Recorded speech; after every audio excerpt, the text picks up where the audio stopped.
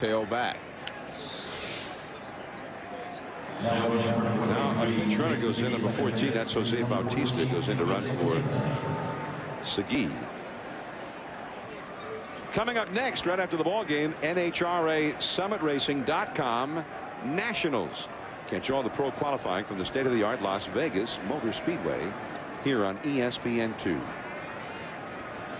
Luis Matos, the hitter. Bautista, the runner at second.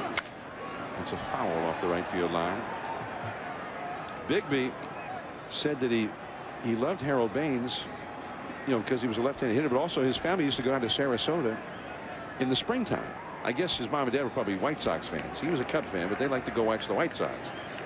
And he was hanging outside the, uh, as a little kid, the White Sox clubhouse after a game, and Harold Baines signed an autograph and chatted with him for a little bit. Harold Baines and Carlton Fisk. He said, I said, how old were you? He says, five. but he said they made such an impression on him that they was not only sign for him, but, but stay and chat with him a little bit. Ask him questions about himself. But he seemed to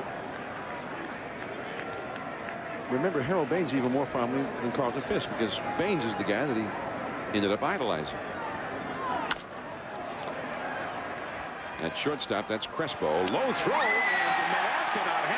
and that's going to cost the Red Sox a run. Here comes Bautista in to score.